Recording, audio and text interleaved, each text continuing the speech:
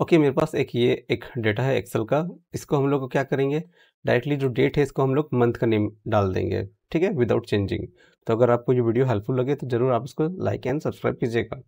तो सबसे पहले हम लोग रेंज सेलेक्ट कर लेंगे, यहाँ से लेके जहाँ तक है। रेंज सेलेक्ट करने के बाद हम लोग आ जाएँगे नंबर का, एरो में एक छोटा सा। फिर चल जाएँगे कस्टम में। फिर उसके बाद आ जाओ यहाँ पे क्लिक करना और इसको हटा के वन, टू, थ्री, फोर, ठीक है?